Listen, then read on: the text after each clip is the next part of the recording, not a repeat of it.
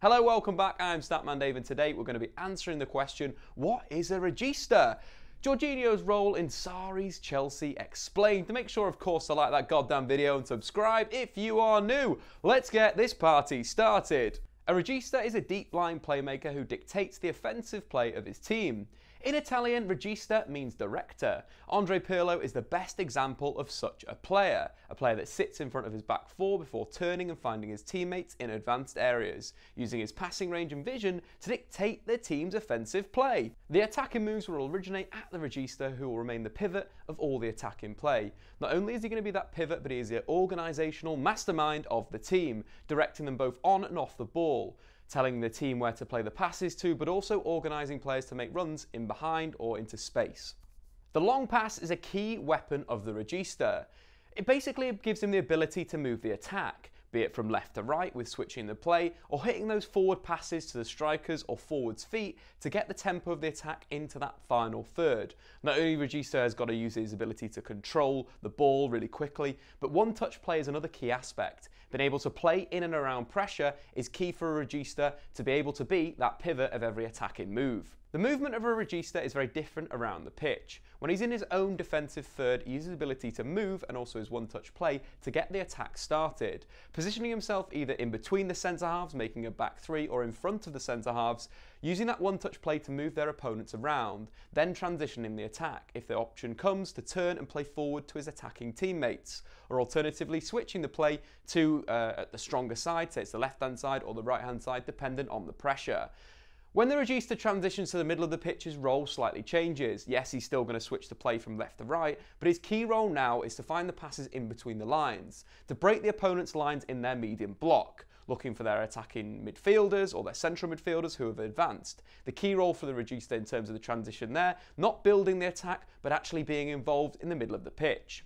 Into the final third again, the Regista's role slightly changes. He looks to get on the ball, looks to play through balls, or getting his teammates into those advanced areas to create a goal. The second assist pass is a trademark of a Regista. Again, you'll frequently see a Regista moving ahead of his central midfield teammates, and that's the beauty of the role. So fluid in possession, getting into the areas to dictate the play in the right moments. At the base of midfield, in their own defensive third, creating in front of the back four, and then in the final third, getting to attack in midfield. A Regista, a true roaming playmaker.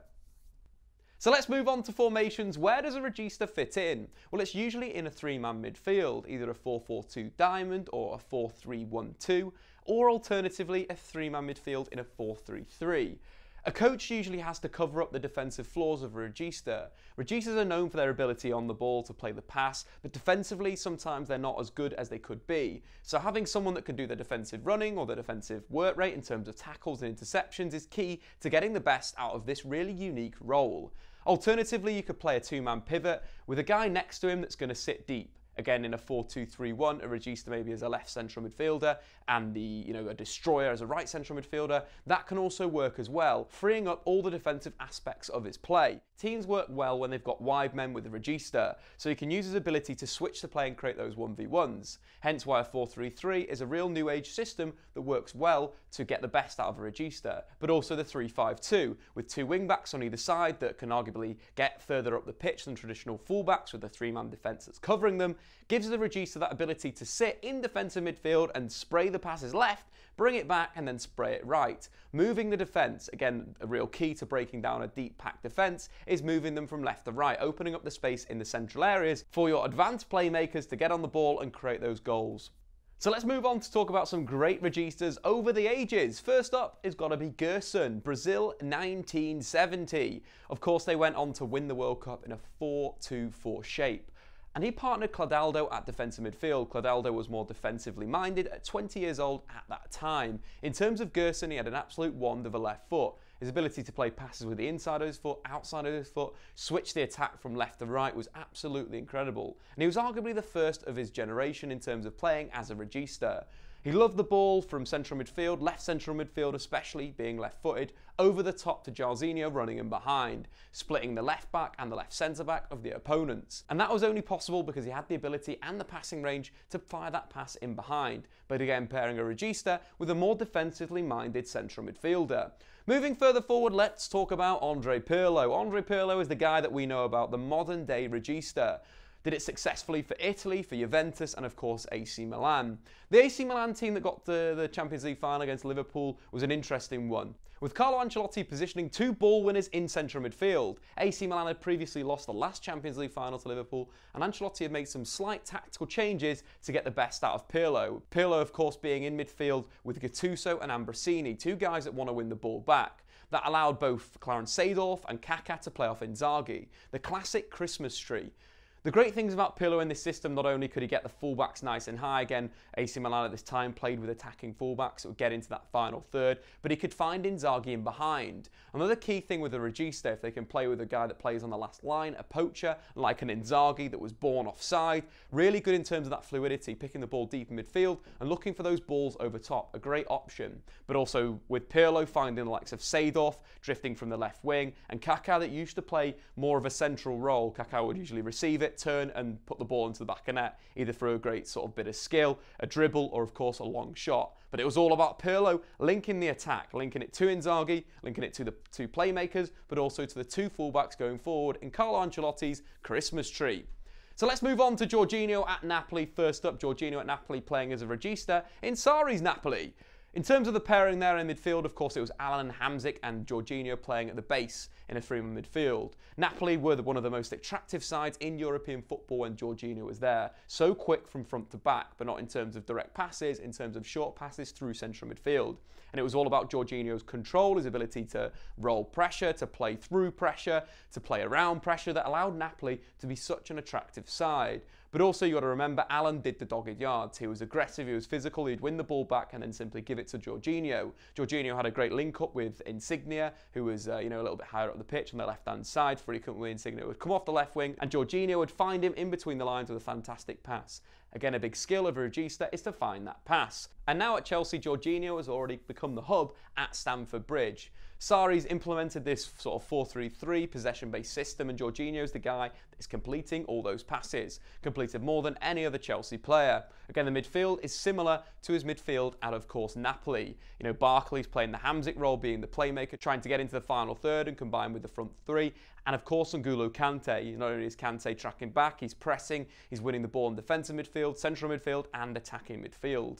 But as well with Jorginho at Chelsea, we've already seen the beauty of a But also the negative sides as well. Take the game recently against Arsenal in the Premier League.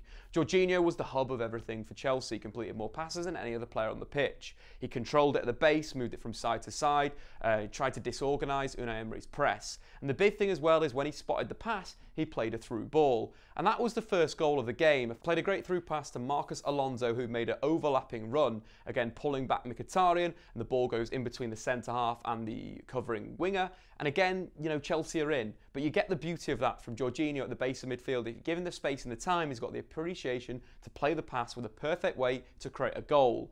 And that is what Jorginho is going to do at Chelsea. In terms of the negative sides of obviously playing a regista, uh, you know, Chelsea saw that against Arsenal. Arsenal creating a lot of opportunities from cutbacks from wide areas. Again, a traditional defensive midfielder is usually be dealing with all those problems in that zone. But given that a regista is more, you know, an attacking player that's going to get on the ball in those deeper areas, not defensively sound and solid. So I kind of expect maybe Sarri to move his midfield on, go with the Carlo Ancelotti Christmas tree model, and go with two guys that can win the ball back and be aggressive. That, of course, Kovacic coming in from Real Madrid could be the perfect guy to partner N'Golo Kante in central midfield. But just to round things up, let's talk about the positives and the negatives of a regista. So the positives of a regista, of course, can dictate the play if given the time. Is a direct link from defence defensive midfield to the attackers, plays in a natural whole of a number of systems. We're talking 4-4-2, 4-3-3, 3-5-2, and of course can move the opponents round with his passing range. In terms of the negatives, there's a few of those as well. We've got to talk about them. First up, the lack of defensive awareness from a regista. Again, they're open to cutbacks if their opponent can create those types of chances. Can also be man marked, which kills a Regista's game. We've seen someone like Park Ji Sung do a great job against Andre Pirlo in the Champions League in recent years. But also, it's a free role within a team, so you've got to give them that freedom to be able to play those passes. Anyway, guys, I've been Statman Dave. What have you guys made of the Regista role in world football? Do you like it? Do you hate it? Get into those comments. Are you a fan of the Regista or are you not? Anyway, guys, make sure, of course, to subscribe if you're new and like that goddamn video. I've been Statman Dave. Over and out. If you enjoyed this content, why not check out how Sarri will set up Chelsea this season, or alternatively, my Jorginho scout report. Lots of great information there. But anyway, guys, see you later.